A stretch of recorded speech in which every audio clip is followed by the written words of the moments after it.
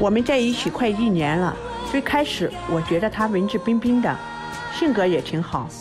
交往一段时间之后，想和他结婚，但每次我提出结婚的想法，他总是回避我，而且现在脾气越来越大，经常抽烟喝酒，我实在是受不了了。我们两个现在工作都不太稳定，经济压力也大。我觉得现在这个状态结婚啊，对双方都不太好。他你却一点不理解，还一直在逼我，我你现在也很烦。我们现在根本不能坐下来好好聊聊，他总是躲着我。我今天来到这个节目，就希望他能给我一个明确的说法，能处就好好处，不能处就好聚好散。掌声有请这一对，有请。王先生四十七岁，来自山东个体；雷女士四十八岁，来自山东销售。来，有请两位，有请。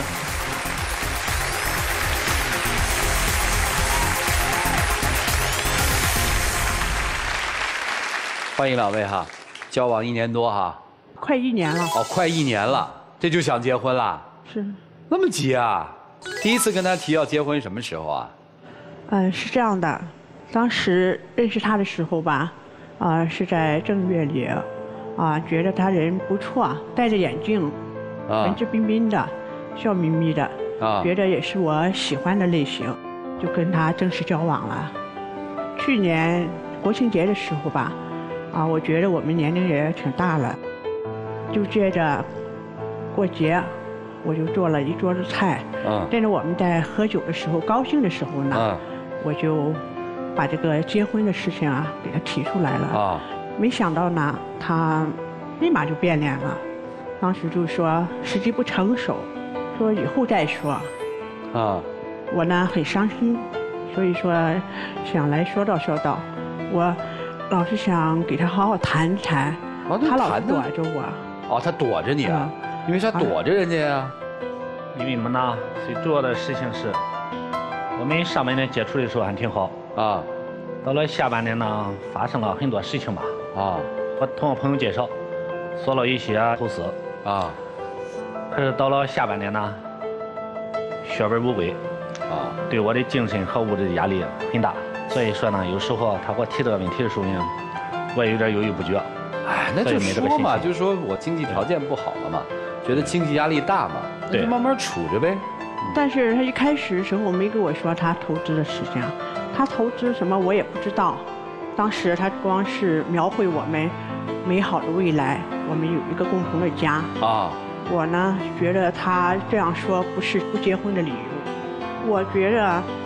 他现在心思越来越不在我身上了，哦，手机呢也不让我看。您觉得这是借口是吧？嗯，而且现在和原来判若两人，脾气越来越大。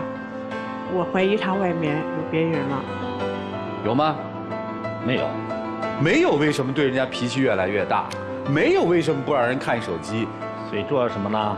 投资失败了以后啊，压力大一些啊。到下半年呢，他一直催我结婚啊，说真话。为了对他负责吧，也是为了自己的幸福吧。有时候我想呢，可能还需要静下心来啊，慢慢的去沟通。那你打电话背着我在阳台上打二十多分钟，不让我看手机。我问你是跟谁说话呀？你也不说，你光说我不懂，能不让人怀疑吗？这个事呢，主要是什么呀？我们做婚庆这一块接了一个业务以后，忙活的时间比较长，我们都是团队去运作，牵扯的这。设备啊，人员比较多一些，打的电话比较长一些，他人不是多么了解，有时候就这样，有点疑神疑鬼，就怀疑我。其实没有的事也是。哦，嗯，您都为什么怀疑啊？背着您打电话算是怀疑，还有怀疑过什么呀？就去年十一月十一号的时候，发生那件事让我很生气。啥事儿？那天吧，我们共同之间的朋友小李儿给我发微信说：“你跟老王分手了吗？”我说没有啊，我很奇怪，为什么你这样说呢？他说你看看，他刚发了朋友圈里，他去参加相亲会去了，而且我我都看不到，然后我一看发现他把我屏蔽了。其实不是这么回事上年十一月十一号是我们有一个老乡，他组织了一个什么呀单身相亲会这么一个活动，我呢做婚庆这一块他学设备、录像、音响，我是门组织者之一。哎，我也参与这个活动了，还找了一些单身朋友一百多个人，在酒店里搞这么一个活动。您是组织者？对。哦，不是参与相亲的。对。这事儿不是说清楚不就完了吗？那你为什么屏蔽人家呢？他公司也挺忙，有时候啊，我一些事情跟他说了以后啊，他可能是也不是多么了解，所以跟他沟通的可能也差一些。不，这不需要沟通啊！你正常我要组织一相亲会，我就组织呗。你告诉我，还有照片是怎么回事？啥照片？他就是相亲会上和人家照的是一个女的挽着他胳膊，相亲成功了，站在舞台上，小李儿把那个截图发给我了，我很生气。对，就是那个，那个女的我也认识，对她有好感，也喜欢她。你怎么不拒绝人家呢？你怎么不说你有女朋友了呢？你不是说你是组织者，怎么你也相去了呀？不是，这个事情也是个突然的事情。我们这个相亲会快结束的时候，我们五个组织者都需要上台啊，跟人敬酒。然后他上去以后，哎，说给我合张影。哎，我说行啊，合张影就拍个照吧。其实也我不知道谁拍的，就发朋友圈了。这叫解释，你信吗？我先问问你喜欢他吗？因为当时那种场合，我喜不喜欢？不喜欢。我们现在已经不联系了，这都是上年的事。啊。你拒绝他了吗？早拒绝他了，现在都不联系了。你指的拒绝是什么？为什么在单身群里你还冒充单身，还不退群呢？说真话，我们是婚庆这一块有什么设备群，还有这个。嗯，相亲交友群，我在群也是一个群管，所以说们，为了自己的业务吧，也是们介绍客户的一种渠道。哎，如果是这样说，哦，我还能理解一些。但是你有好多事儿也瞒着我。啊，我们刚开始交往的时候，我不喜欢他抽烟喝酒，为了身体健康嘛。啊。他也挺听话的，啊，当着我的面也不抽烟，喝酒呢也很少应酬。现在呢？他抽烟啊，守着我，然后喝酒呢，就也不告诉我。有一次最严重的就是，他说跟他朋友去聚会，去谈事情去，到了饭点了还不回来，我就做好饭了，所以我就给他打电话，打电话他说他和朋友在一起喝酒呢，啊，我说你早回来吧，我在家等着你。到了十二点多了还不回来，我再给他打电话，他就有点不耐烦，快一点了还不来。我又给他打电话，响了好几声，再打，关机了，一晚上都没回来。啊！第二天早上回来以后什么也不说，就自己睡觉去了。这种事经常发生，我们就为这事经常吵架。你干嘛去了？因为干我们这个行业呢，说那话免不了喝酒的场合比较多。不是，不是您您是卖酒的？不是做婚庆这一块您是试酒的，哎，对我们本身这个婚礼之前也有试酒这一说。行吧，就算有这么个喝酒的工作，那啥工作要喝一夜酒呢？最主要是什么呢？压力也大吧，他经常打电话，我也有点烦。朋友早晨一块呢，有抽烟有喝酒的，您就直接跟他说，不就完了吗？他当时答应的很很好。不是，人家不是跟您说了吗？说烦您了吗？他喝酒的时候烦我，他不喝酒的时候我还挺好的人。啊行，可是他经常喝酒啊。现在经常喝酒，经常出去。原来的时候吧，每天都能见面现在三四天见不上一面有时候一个星期，老是推脱着忙，工作忙。说真话，接触这些一年多，他这个说话比较絮叨，天天有时候 逼我去给他一个承诺去结婚。可是我现在呢，就是还给不了他这个结婚的念就是你很烦他，天天逼你结婚，是吧？因为没法承诺。我再问一件事儿啊，现在孩子，你你们应该都曾经有过婚姻吧？我没有，他结过。我是曾经有过失败的婚姻，年轻吧不珍惜。哦。现在呢，认识他了，我就觉得要好好珍惜。您一直没结过婚？对。哦。今天来的目的是什么呀？要个说法，对不对？对，我就是想，呃，如果我们能好好处下去呢，嗯，我们就好好交流，你别躲避着我，有什么说什么。如果不行呢，那我们就好聚好散。行，还想跟人处吗？还想。我怎么觉得你不想啊？嗯，只不过是没这段时间，可能我压力大一些啊。为什么？还是没通过这个时间的推移，慢慢的去好转吧。好转啥呀？一个经济，一个是精神压力。行，稍微好。我这个时候倒想听听这个大姐的优点是什么了。在你心里，她有什么优点？她的优点呢？作为一个女人的话，她比较懂事一些。这个懂事的含义是什么呀？第一个什么呢？因为家长里短，考虑比较周到，所以说呢，对我呢，可能事无巨细啊，考虑的也比较细致一些，照顾的好是吧？对。哦，哎，能考虑到认可的。听明白了。再问您一句，为什么一定要跟他在一起？因为我们一开始认识的时候，他也给我描绘了我们未来。你们的未来是什么样的？温馨的家。您给我们描绘一下。呃，我原来曾经受过伤害，他呢也挺关心我，脾气也挺好，主要是那时候吧，就说以后我们每年都出去旅游去，然后呢相伴到老。我作为女人吧。这是给我的最好的承诺。就在您这个离异之后，还谈过恋爱吗？还是就谈了这一个？没有。哦，离异多少年以后认识的他呀？有四年了吧。呃，着急结婚是为什么呀？呃，我是想我们年龄也不小了，再一个呢，我觉得他挺适合我的。他哪几点适合您呢？嗯，他是除了就是下半年变化挺大。刚开始不是这样的，所以我一直抱着那个梦想。也就是说，您现在想嫁的是刚开始认识的那个人，是吧？是，并不是下半年呈现在你面前那个抽烟喝酒不回家，干什么去了也不跟您交流的那个，是这意思吗？对。行了，事儿就是这么一个事儿了。相处不到一年的一对中年人，女方期许着一段美丽的婚姻。男方现在似乎没有做好准备，所以女生想要一个说法：好则合之，不好则好散之，是吧？来，我们一起进入丘比特问卷。雷女士，王医生不会跟您结婚的。这么多年来，他一直都享受着自己这样的单身状态。王医生，我们看形象上佳。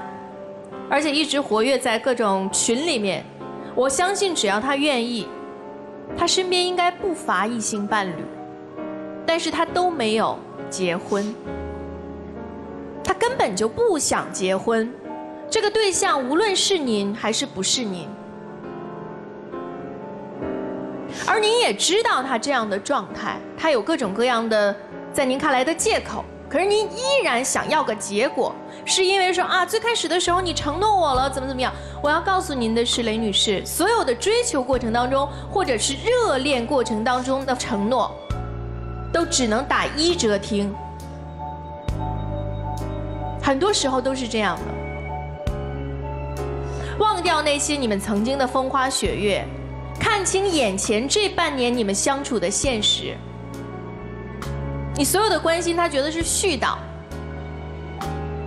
在开始，你是一个懂事儿的女人，他愿意和你在一起。但是现在，您所有的做法，在他看来，都已经变得不那么懂事儿了。发那条朋友圈，我暂且不论他是真的去相亲了，还是组织者，因为我们无从判断。但是从他发朋友圈的状态，屏蔽你，然后你的朋友又给你打电话来讲。说明朋友们看到这条朋友圈的时候，感受到的，其实是他在宣示自己的单身状态。对于异性挽着自己的胳膊，非常的泰然，没有你的存在，夜不归宿，没有合理的解释，没有你的存在，所以我不知道您今天是来要什么的。其实今天反而要做选择的是您。再不给你一个婚姻状态的时候，你是愿意和他继续交往，还是和他分手？刚才他说的那句话是真心的，就是还想处吗？想，前提条件是在你不逼婚的情况下，他愿意有一个懂事儿的异性陪伴在自己的身边，仅此而已。我希望您能听明白。祝福每一位，谢谢。呃，大姐，你说他需不需要你？我觉得他需要你。但他并不想把一切都交给你。就说白了，一个人如果真的要和另一个人结婚，在投资啊，像这些事情上面，怎么会不是两个人商量着办？像借款啊这样的事情，怎么会不是两个人商量着办？未来的事业的规划，怎么不是两个人商量着办？要去组织什么相亲啊什么事儿，怎么会你就会不知道呢？他的生活的一部分需要你去照顾，他生活的另一部分不希望你涉足，那。你刚才一再提起说，你追我的时候给我描绘的生活是那么好，那么好，那么好。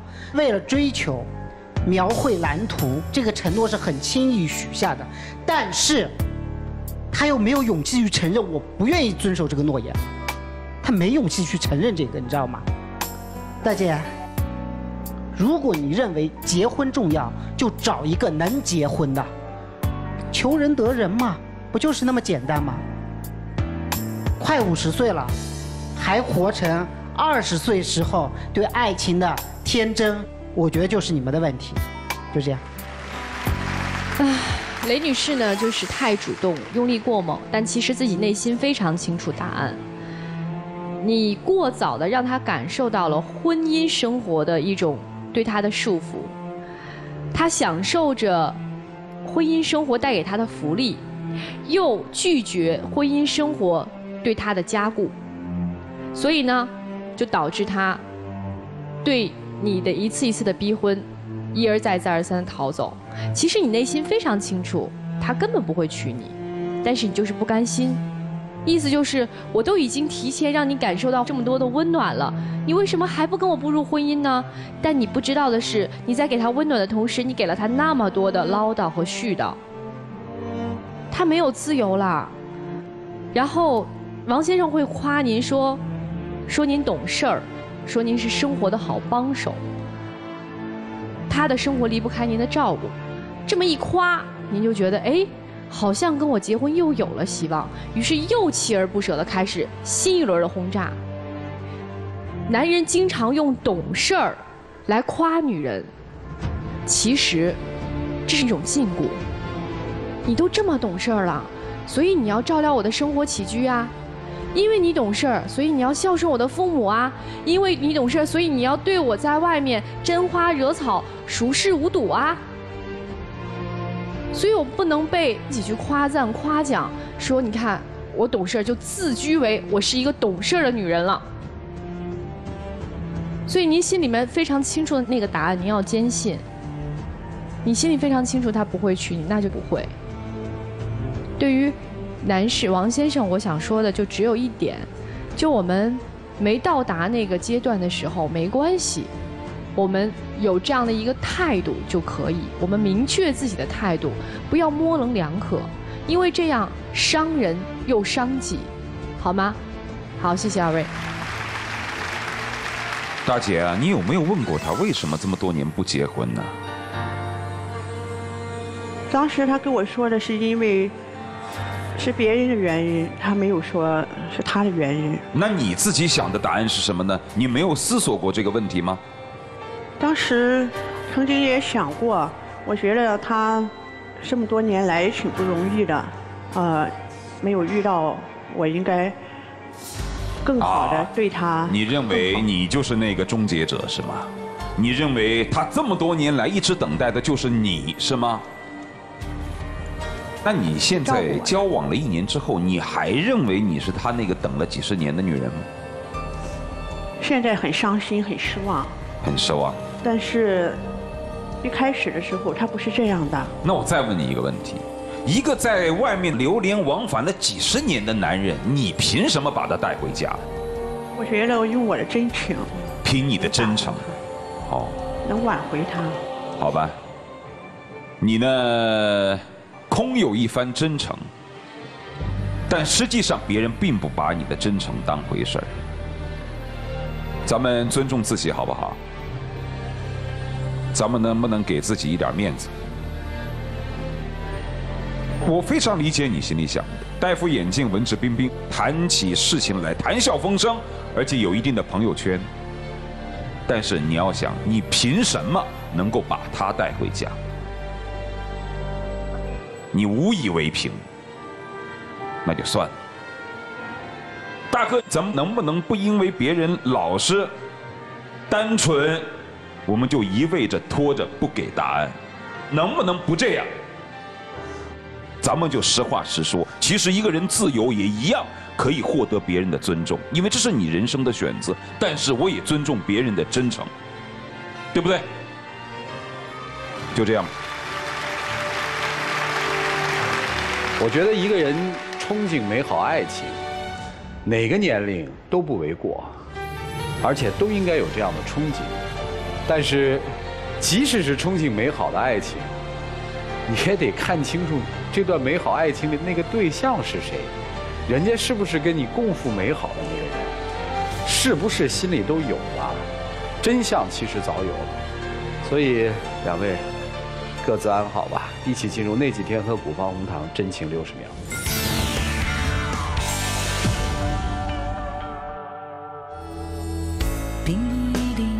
我曾经有过一次失败的婚姻，那时候年轻不知道珍惜对方，现在年龄大了，认识了你，我想好好的珍惜，我也想我们有一个相互的依靠，就像你说的那样，我们有个家。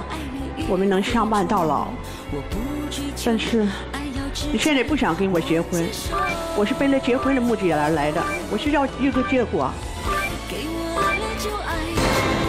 来，请亮灯，我们男女嘉宾一起打开君乐宝长知识了爱的记忆箱。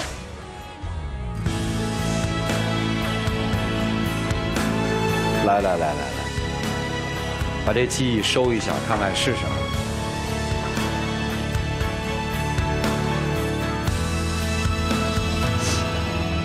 这个您在里面放的什么记忆啊？我给他放的是银行卡，因为么呢？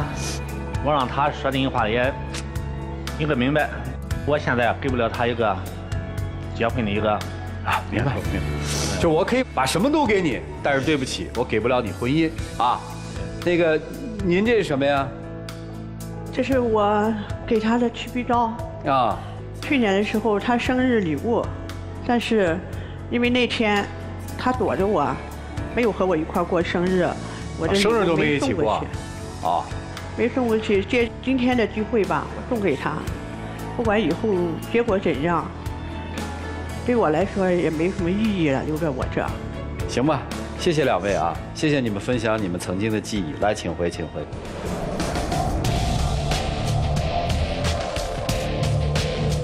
来，请关门。来吧，看看这一对自己的选择，请开门。